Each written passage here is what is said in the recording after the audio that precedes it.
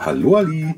Heute gibt es als Hauptspeise mal einen wunderbaren Salatteller mit frischer Burrata, einigen Mini San Marzano Tomaten, etwas geröstetem Brot und einigen Scheiben leckere italienische Salami.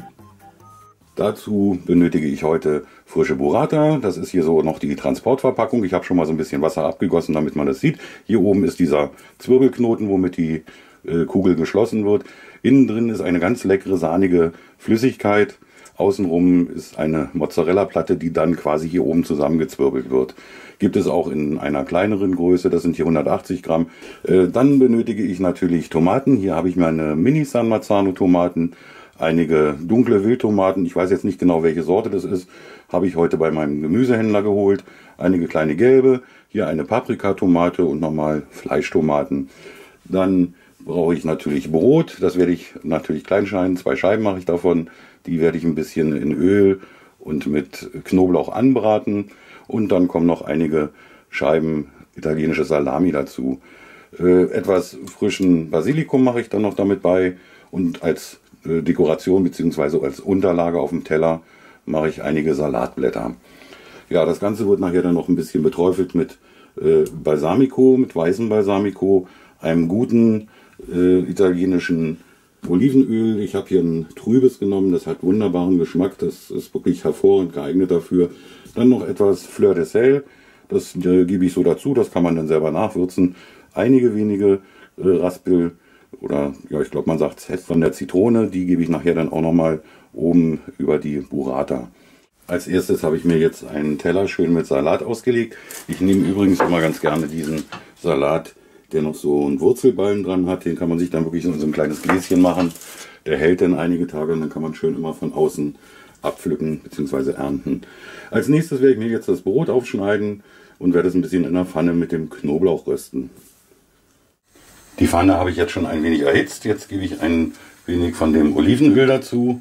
Da braucht man also wirklich nicht viel. Das ist nur so ein ganz klein bisschen, damit das Brot so ein ganz klein wenig davon aufnimmt, beziehungsweise der Knoblauch auch sein Aroma in das Öl abgeben kann. So, da mache ich mir jetzt den Knoblauch rein.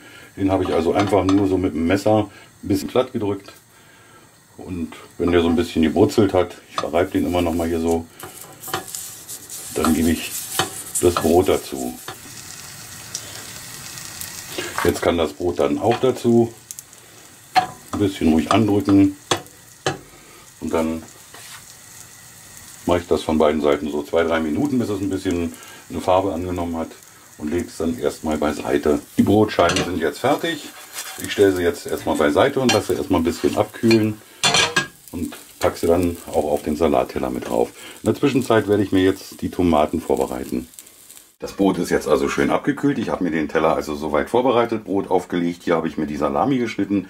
Hier ist das Fleur de Sel. Hier habe ich nochmal was vom Balsamico-Essig. Das ist im Übrigen ein ganz feiner, milder, sehr fruchtiger. Dann was von diesem naturtrüben Olivenöl, ein Löffelchen, sodass jeder nachher nochmal ein bisschen nachträufeln kann. Jetzt werde ich nochmal meine Tomaten da drauf geben. Die habe ich schon ein bisschen vorbereitet. Das heißt, ich habe sie einfach nur halbiert. Die lege ich jetzt hier oben einfach so ein bisschen auf dem Brot drauf. Ich habe dazu die San Marzano genommen und eine von diesen dunkleren und ein wenig von der Paprikatomate, die wirklich tatsächlich richtig nach Paprika riecht. Ich habe jetzt also noch nicht probiert, aber ich könnte mir vorstellen, dass er auch so ein Aroma in dieser Art hat. So, jetzt eins runtergehüpft. Das wollen wir auch noch mitnehmen. Das kann hier oben noch mal ein bisschen hin. Jetzt lege ich mir da noch mal ein wenig Salat vor. So. Auf die Tomaten gebe ich dann noch einige wenige Basilikumblättchen. Das nehmen da nämlich immer die Spitzen nur. Mehr braucht man da auch gar nicht raufmachen, das reicht schon. Dann noch ein wenig Olivenöl.